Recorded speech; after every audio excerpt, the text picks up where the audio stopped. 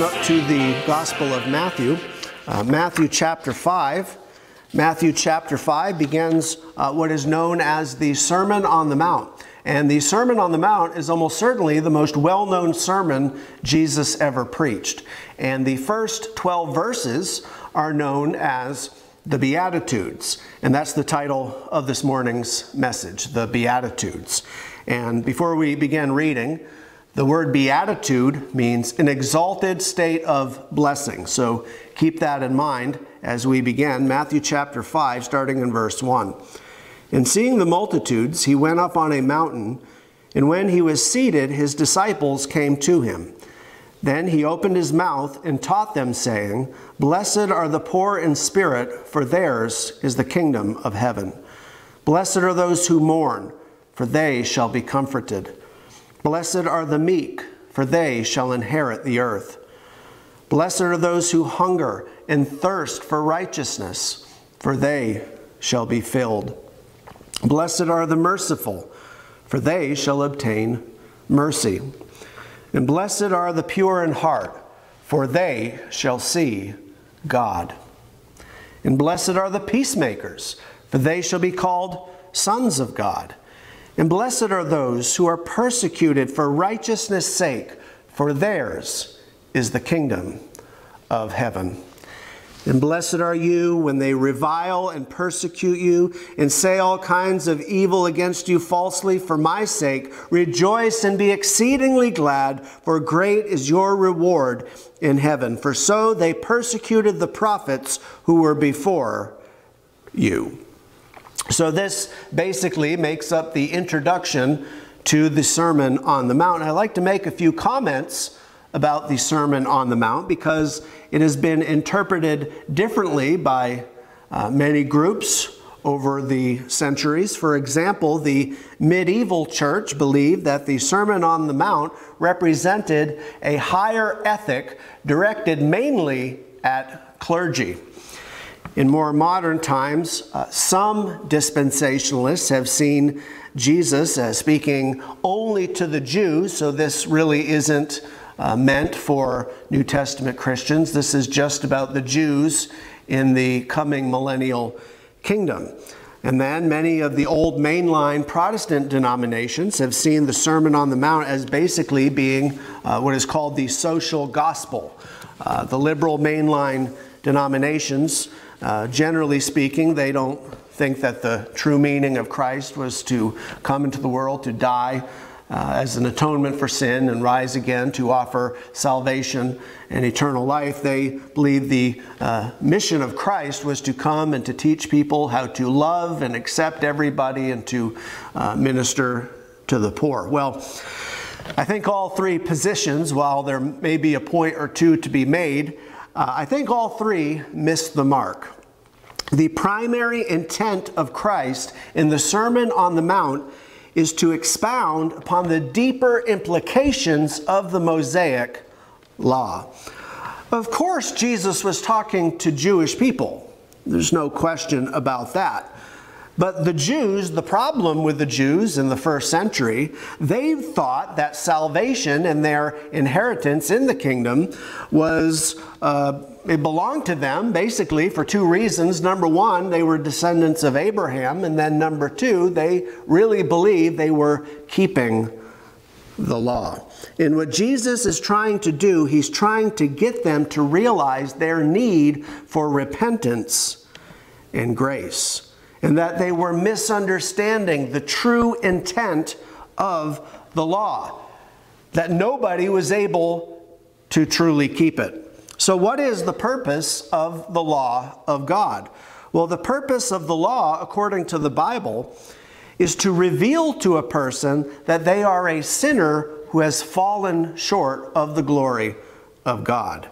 And because all have fallen short, all are in need of God's grace, which is given through Christ Jesus. The apostle Paul said in 1 Corinthians chapter 15 verse 56, he said the strength of sin is the law.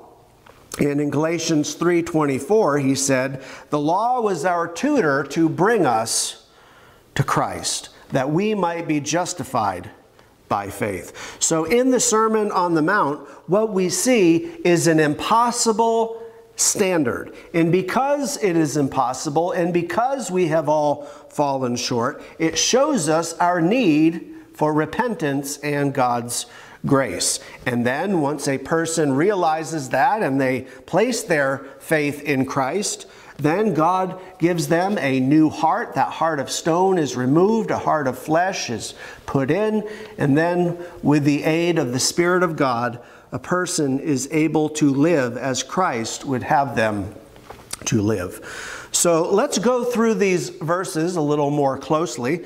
Matthew chapter 5, starting in verse 1. And seeing the multitudes, he went up on a mountain, and when he was seated, his disciples came to him. So, this is where some will question okay, is Jesus speaking to the multitude? Because it looks like here he's just talking to his 12 disciples. Well, here's the thing even if Jesus is only speaking to the 12, now under the new covenant, all men are commanded to repent and believe the gospel. Acts chapter 17, verse 30. And all who believe are to become followers of Christ. Matthew 28, verse 19. And what is a follower? Uh, a follower of Christ is a learner, a disciple. Okay? So to say that this is only for the 12 disciples, therefore it's only for ordained clergy or it's only for the super committed followers of Christ, yeah, you're on shaky ground uh, to say the least if you think that. But look at verse 2. It says, He opened his mouth and taught them, saying, Blessed are the poor in spirit, for theirs is the kingdom of heaven. And just a side note, the term kingdom of heaven, uh, basically it is synonymous with the term kingdom of God. If you compare the Gospels, you will see that. Uh, Kingdom of Heaven is unique to the Gospel of Matthew. Matthew was directed more at a Jewish audience. The Jews uh, were reluctant to use God's name or to write God's name when it wasn't necessary. So, to uh, appeal to Jewish sensibilities, uh, Matthew, instead of calling it the kingdom of God, he calls it the kingdom of heaven. So, verse 2 Then he opened his mouth and taught them, saying, Blessed are the poor in spirit, for theirs is the kingdom of heaven. Blessed are those who mourn, for they shall be comforted. And blessed are the meek, for they shall inherit the earth. Now, this first statement, blessed are the poor in spirit, this is very interesting because in Luke chapter 6, Jesus preaches a variation of the Sermon on the Mount. So, Matthew 5 is known as the Sermon on the Mount. Luke 6 could be called the Sermon on the Plain. Uh, that is, it was a flat plain, a, a level piece of ground in Matthew, uh, excuse me, in Luke 6. And in Luke 6, Jesus doesn't say, Blessed are the poor in spirit. He says, Blessed are you poor. So, what is Jesus talking about?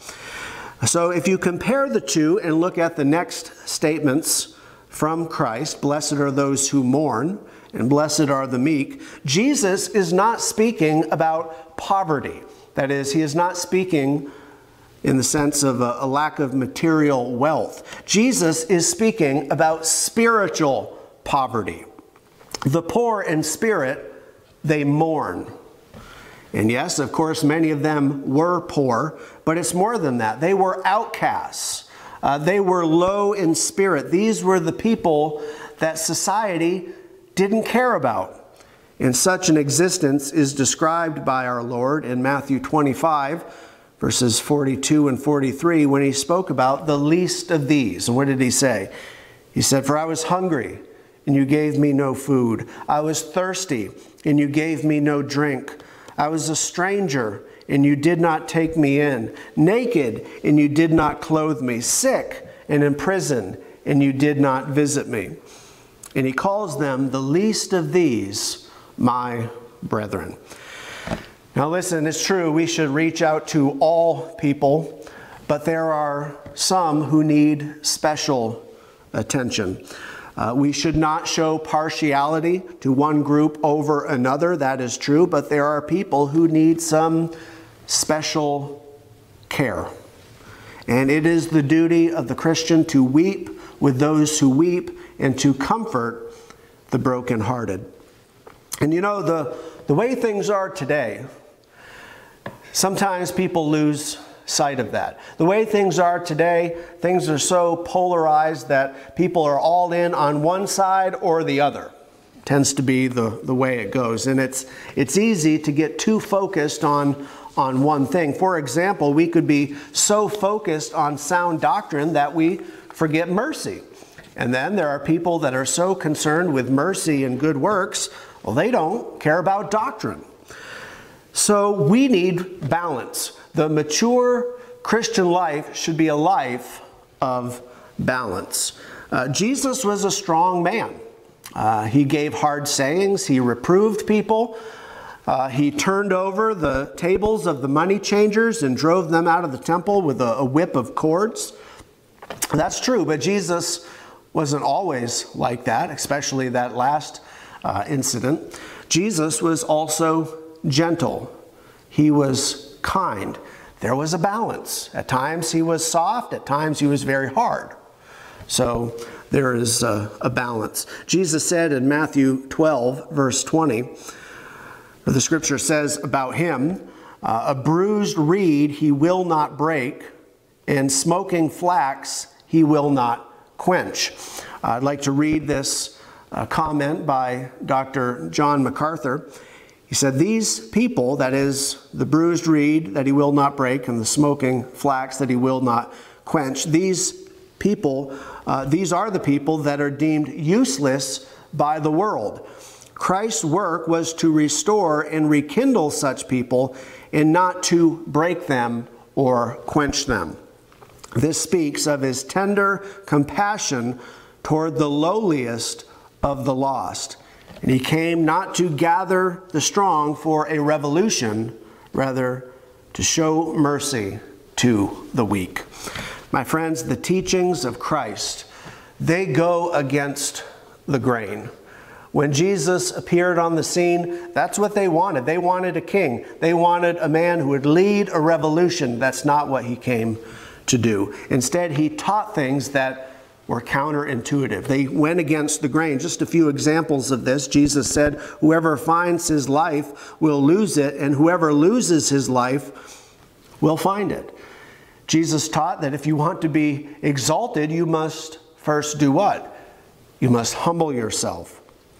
We cannot be first unless we make ourselves last. And then the Apostle Paul uh, taught things like when we are weak, then are we strong?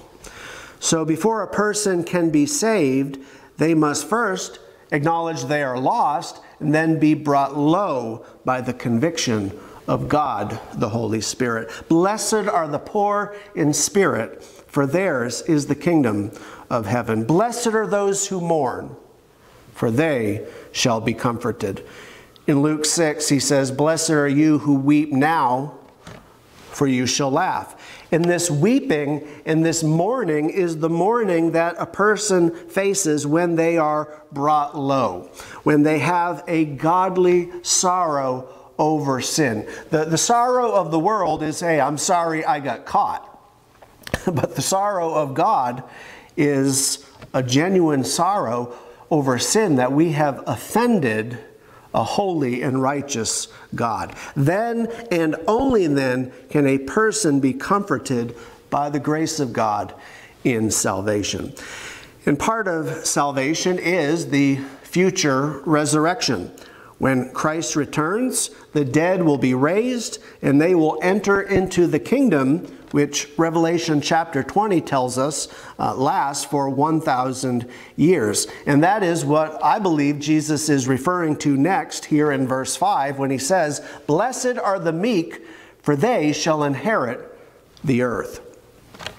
And when God's people do inherit the earth during the millennial reign of Christ, that will be a time of exaltation and rejoicing. A golden age of righteousness.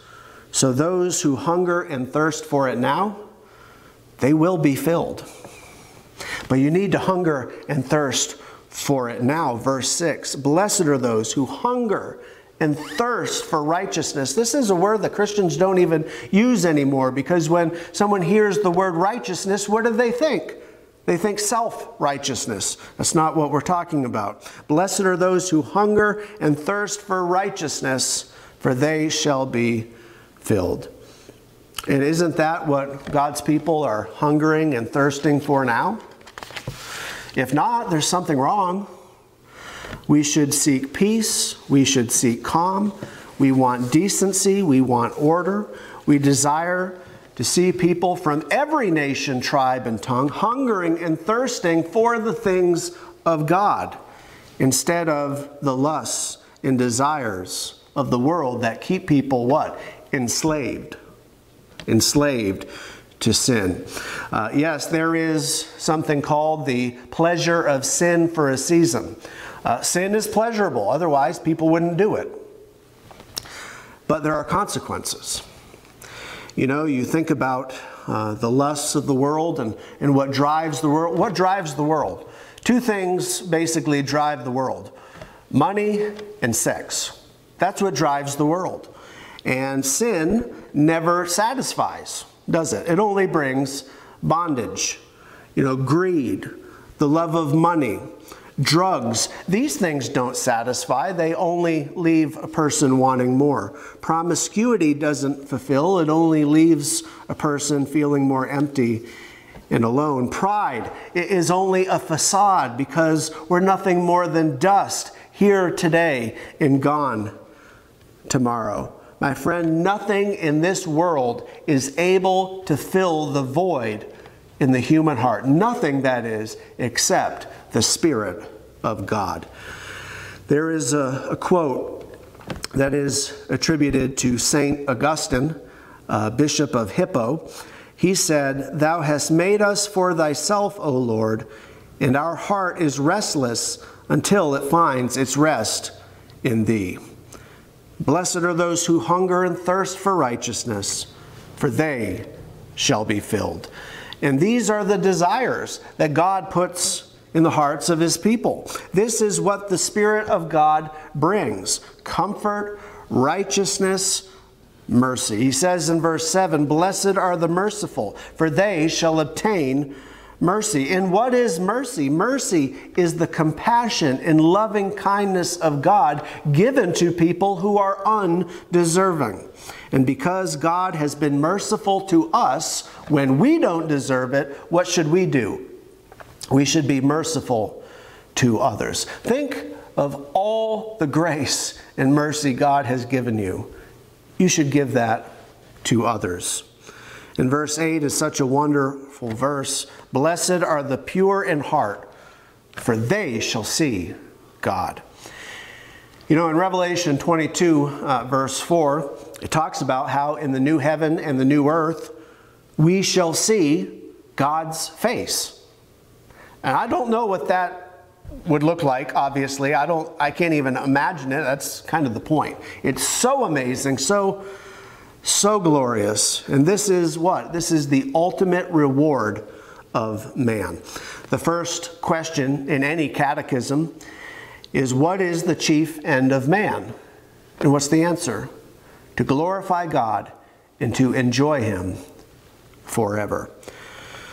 I know we tend to think of eternal life as our reward, but really, eternal life is not the gift.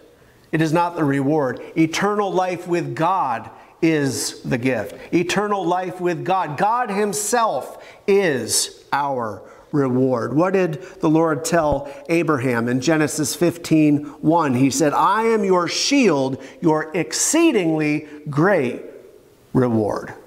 God Himself is the gift. Verses 44 and 45 further expand on verse 9, which says, Blessed are the peacemakers, for they should be called sons of God. Jesus says in verses 44 and 45, But I say to you, Love your enemies. Bless those who curse you, and do good to those who hate you, and pray for those who spitefully use you and persecute you, that you may be sons of your Father in heaven. For he makes his sun rise on the evil and on the good, and sends rain on the just and on the unjust. So, because God loves all men, God so loved the world, we should love others also. And we should seek peace with all men. Now, the Beatitudes uh, come to an end in maybe an unexpected way. Things are a little different. You know, they start out, the first few statements of Christ uh, showed some lack, right? The poor in spirit, those who are mourning, uh, meekness, hungering, and thirsting. And then we see some more positive statements about uh, being merciful, and blessed are the pure in heart, and blessed are the peacemakers. And Christians want to be filled. We want to receive mercy, certainly, and we want to show mercy. We desire peace. But what Jesus mentions next, not sure we want that.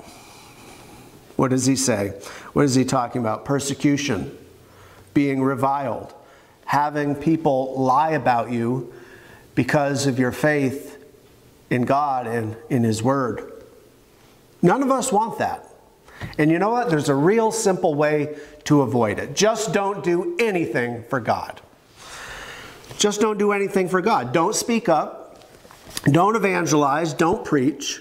Don't stand for what is right don't have any convictions, or if you do, uh, compromise them or don't ever say anything about them, that's a, a way to avoid adversity. You'll never receive any persecution if you don't live godly in Christ Jesus. But the Bible says all who live godly in Christ Jesus will suffer persecution. So if you don't want this, just keep silent don't tell anyone about your faith. Don't have any convictions. Don't stand up for anything. Just do nothing for the Lord. But that's not an option, is it? Don't forget, don't forget, in the scripture, when godly men and women stepped out in faith, there was a risk. There was always a risk. But was it worth it? You think about it, the parents of Moses, Moses' mother and his sister Miriam, when they hid the baby Moses, they were facing the wrath of Pharaoh. But was it worth it? When Shadrach, Meshach, and Abednego refused to bow to the golden image or else be thrown into the fiery furnace, they were taking a great risk. But God protected them. When the apostles daily in the temple and in every house did not cease teaching and preaching Jesus as the Christ, even with the threat of imprisonment, was it worth it? Yes, it was. So we will close with these statements of Christ in Matthew chapter 5, verses 10 through 12. Jesus said to them, Blessed are those who are persecuted for righteousness' sake, for theirs is the kingdom of heaven. And blessed are you when they revile and persecute you and say all kinds of evil against you falsely for my sake. Rejoice and be exceedingly glad, for great is your reward in heaven. For so they persecuted the prophets who were before you. Let's close in prayer. Our Father, we thank you for showing us a more excellent way and Lord, give us the ability through your Spirit that the Beatitudes would be our attitude as we seek to make the name of Christ known to all generations. We thank you and praise you for what you have done. We thank you and praise you for what you are going to do. And we ask it all in the precious name of Christ our Lord. Amen.